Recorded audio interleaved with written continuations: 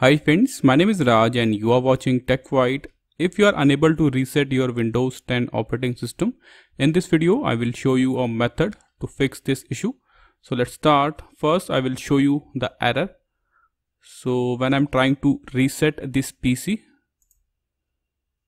and I will choose the first option keep my files.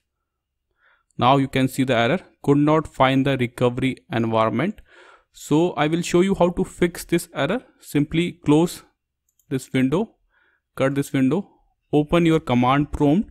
So go to your search icon and type cmd. Now right click on command prompt, then click on run as administrator.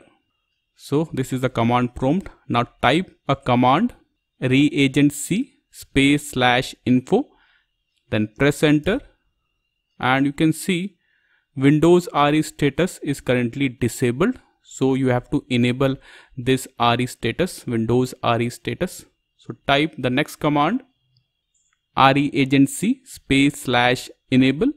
Type this command, then press enter. Now wait for few seconds and you can see operation successful.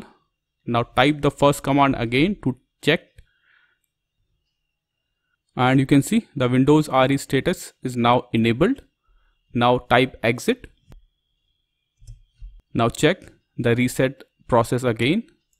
Go to your Windows icon, then click on settings. Now click on update and security. On the left side, click on recovery and you can see reset this PC. Simply click on reset. Click on the first option, keep my files. And you can see the issue has been solved now. Now I can easily reset my PC so this is how you can fix this issue. So this is all for the video. Thank you. Thanks for watching TechWhite. Have a nice day.